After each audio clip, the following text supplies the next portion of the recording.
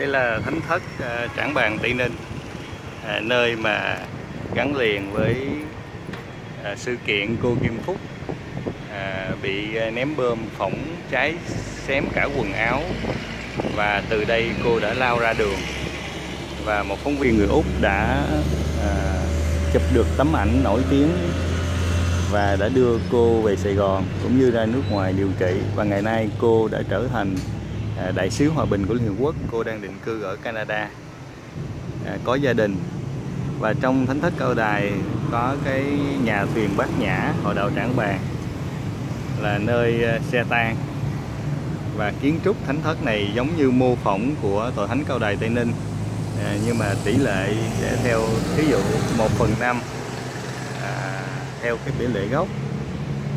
Và à, nơi đây là à, nơi mà tập trung tín đồ cao đài từ hồi trước giải phóng tới giờ à, để à, họ tu tập à, thực hành nghi lễ tôn giáo cao đài ở đây.